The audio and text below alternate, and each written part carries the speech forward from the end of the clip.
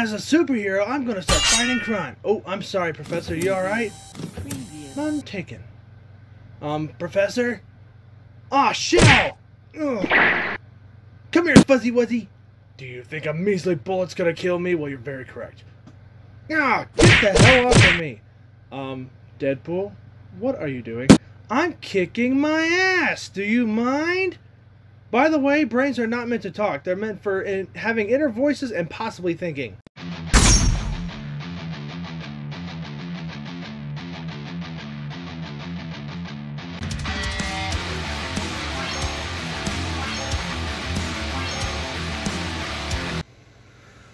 What is going on, guys? Ultimate Deadpool here, back with another video. Uh, sorry I've been gone for a couple days. Uh, big stuff going on around the house right now. Um, boring stuff you don't want to hear about. Um, so anyway, we got three brand new figures to talk about today. So let's go ahead and jump right into them, starting with our first guy. Alright, first up we have the fourth version of Slash that I have. I'm not kidding. This make this guy seriously makes four versions of him. Um, I found this guy at my local comic book store. Thought it was really cool, and uh, it was not inexpensive, but it wasn't cheap either. Um, this dude is freaking awesome. Uh, this is probably one of my favorite versions of Slash. Um, he comes with a ton of accessories. He's got a freaking mace on a stick or club or whatever you want to call this thing. Uh, makeshift nunchuck with spikes. Um, the lightning bolt stabby sword dagger thing. Um, both a small version and a long version. Um, removable shurikens. There is one that also goes on this side. I couldn't get it to go on for some reason, and this is not the NECA Corporation that does this. This is the Super 7. So, if you guys wanted to try to get this figure, it's the Super 7 Slash.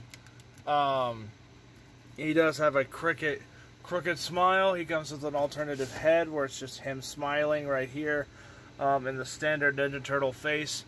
Um, he's got a gigantic sword with pink wood, oddly enough. Um, there's a lot of pink on this figure, which I'm surprised that they did. Um, but actually, it's it's pretty. I, I don't mind the pink. I think it actually stands makes it stand out a little bit more. Um, he's got pink uh, hooks or spikes on his knees, uh, pink shoulder pads, pink wristbands, elbow pads, spikes, um, and essentially pink weapons, with the exception of his main sword and his main uh, small dagger. Otherwise, he's got pretty much pink weapons, so that's kind of fun uh, for people who like the color pink. I actually don't mind the color pink um, because, long story short, my dad's mom had breast cancer, and uh, yeah, so I've always respected the color pink. So, um, really nice detail work on this thing, actually. I'm amazed at how much detail they actually got into this thing. Because um, this is, like I said, this is not the same guys I usually get my Ninja Turtle figure stuff from. Um, it's a completely different company. But they do not skimp out on the details. There's a whole bunch of like cuts and stuff on his chest. The detail on his skin alone is like ridiculous. Uh, his shell has unbelievable amounts of detail. Like the, the spikes themselves are cracked in certain areas. There's slash marks and cuts and stuff all over his back. He has a freaking tail that his tail can move. Um, so it was turned around the other way. I turned it around this way to make it look less um, phallic looking. And then, uh, like overall, this is just a beautiful figure. If I had to rank all the slash, I'll do a video or a post at some point um, asking you guys which slash figure is the best one or best looking one, and whichever slash wins uh, will be the probably the mainstream slash for whenever I use him in future videos. Um, this one's not bad. I do. I will say I like the other one slightly better. Um, the the you know second or third version of Slash um, that I have because it's it's more contained and it just looks more streamlined. This just looks like it's all over the place, but in a good way.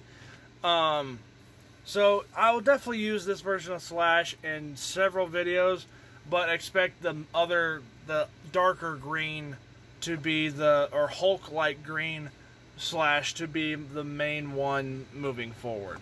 Um, I will still do the poll on which one you guys think is better, uh, but it's probably not going to actually lead into the mainstream one. So I've spent too much time on Slash. Let's go ahead and go on to the next guy.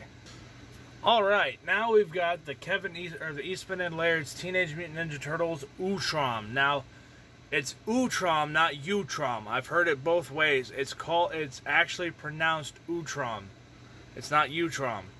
So, um, the Utrom actually looks really good. Um, looks very similar to the comic books, obviously, because it's dubbed the comic books version of the Utrom. Um, but you know, if you've ever watched the 2003's 4Kids show, they didn't change a whole lot with this design. Uh, there are a few small minor things that they changed, but all than that is pretty much the exact same thing. Uh, this thing has a lot of really good posability. I didn't really mention that on Slash earlier. He's got a bunch of posability as well.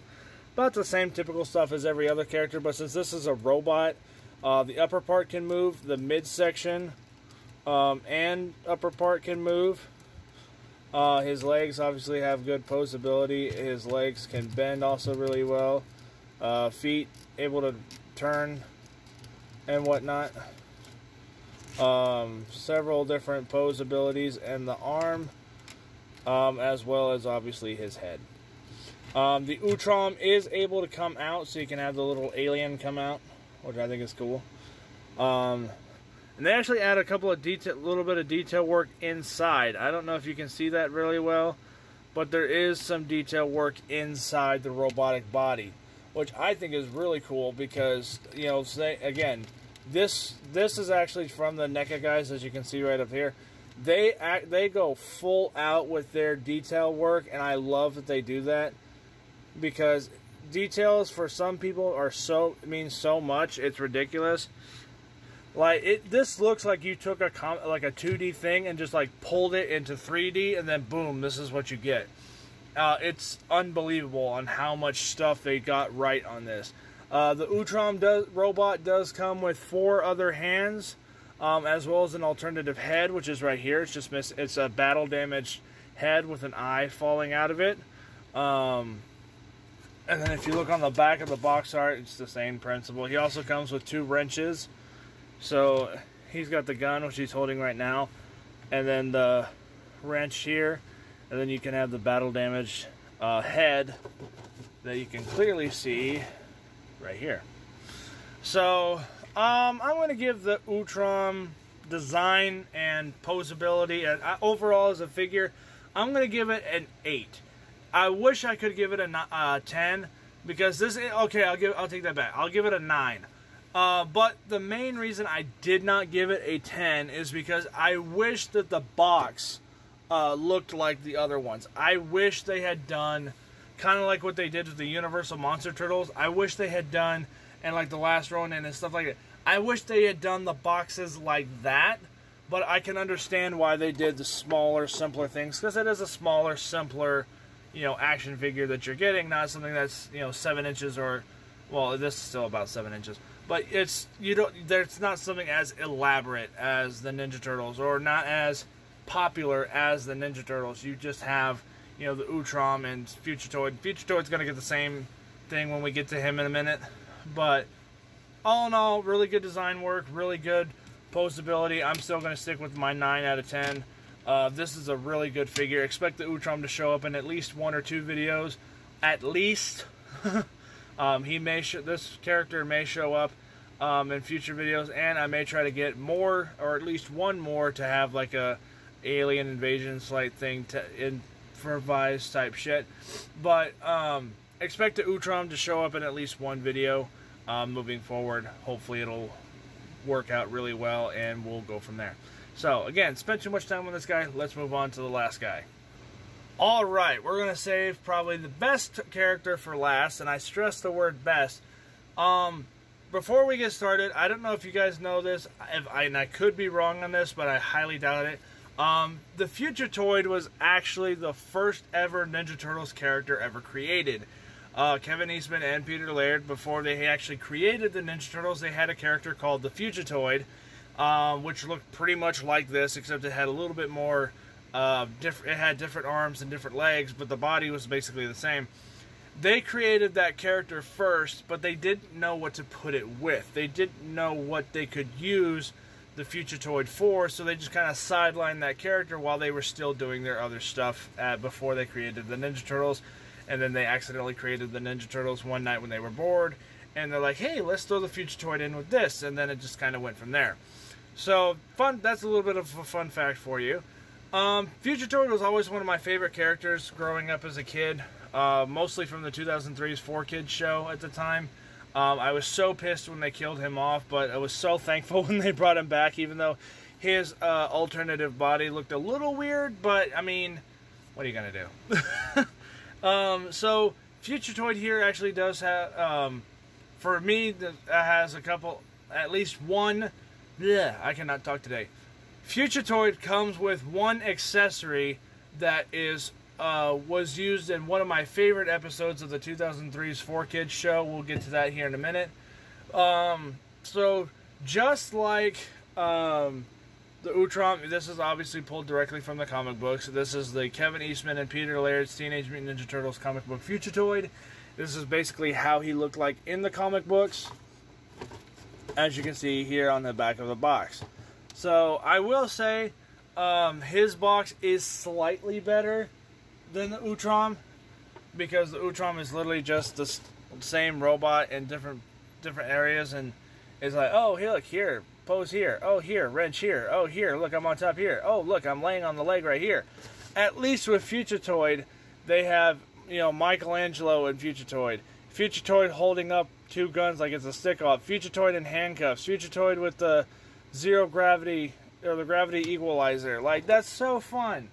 Versus and which is otherwise just a plain boring box. But you know what? That that's fine. You know, Fugitoid comes with four other hands. Um, the handcuffs, like I just pointed out, uh, two guns aside from this one, and the tri- a Triceraton uh, blaster as well. Um, so, like I said, this is this particular accessory that he comes with is called the Gravity Equalizer. At least it was in the 2003's Four Kids show.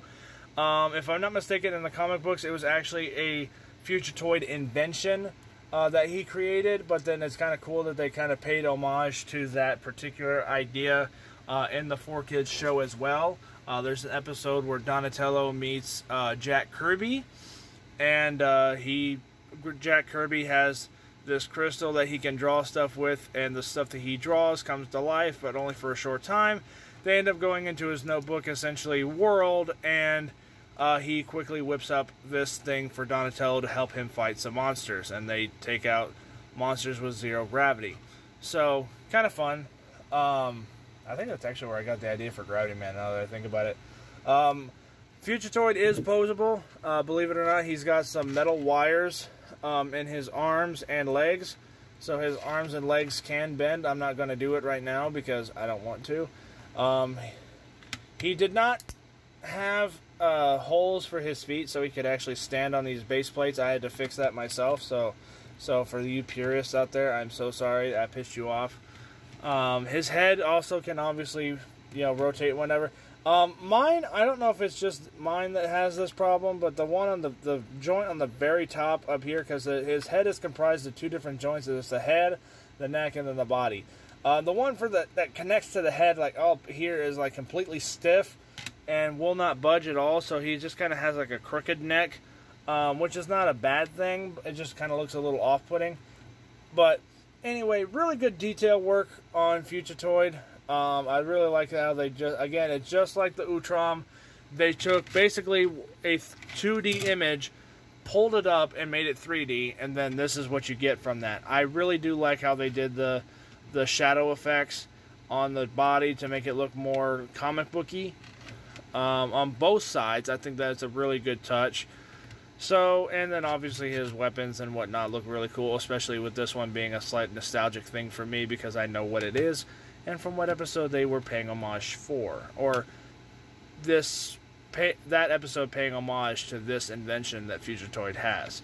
So I'm going to give Fugitoid probably a 9.5 out of 10 just because you know his box is better than the than the Utrom. He's got you know for me a slight nostalgic uh, tool. Um, the detail work is really good, and they were also able to include poses without having to completely screw up the character. Uh, with having just simple metal wires in the legs and arms um, to make the figure fully posable, just like any other thing that they have when he has scrawny ass little robotic arms and legs. So, really nice feature all around for people who want to pose Fugitoid in a certain in certain poses. You can actually do that because his arms can bend with metal wires. So that's pretty much it for this video. Um, Fugitoid will also appear in a couple of videos. Um, most importantly, Fugitoid will be appearing in the uh, multiversal Ninja Turtles movie that I still have planned and is still not canceled. I keep getting that all the time. People are like, oh, you've canceled this movie. Oh, you've canceled this idea. No, that project has been in the works for the last two and a half years. I'm not going to pull the plug on it. I'm waiting for other stuff to get finished or started first. And then once I have that stuff started, I can go ahead and start doing the stuff that I would like to do uh, with that particular series or movie. So, all the characters that I will say this all three characters that you have just seen today, Slash, Fugitoid, the Utrom, they will all appear in that particular film. So, just stay tuned for that. Hopefully, you guys will enjoy that when it finally does come out. But, um, like I said, uh, Fugitoid, Utrom, and that uh, fourth version of Slash will appear in future videos.